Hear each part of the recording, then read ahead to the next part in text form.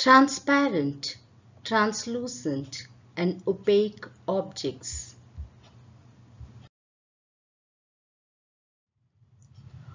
The objects that allow light to pass through them completely are called transparent objects.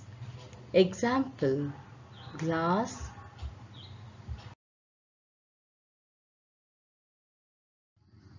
glass, clear water,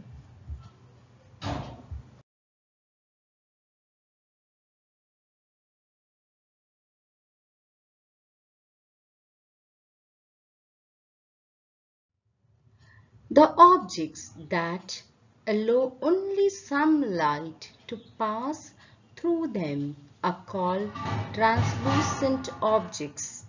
Example tissue paper, tracing paper,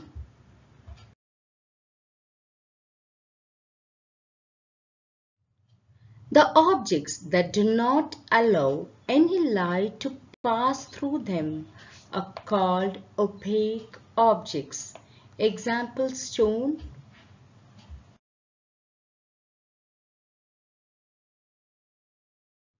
wood,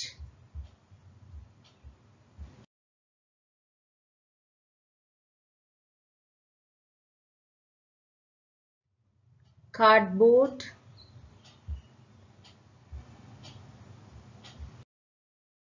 When an opaque object comes in a path of light, it blocks the light and forms a dark patch called a shadow. A shadow is always formed on the opposite side of the light. When we move, our shadow moves along with us.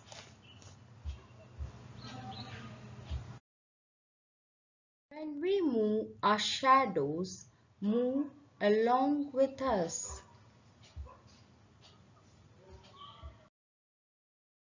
The length of the shadow is different times of the day.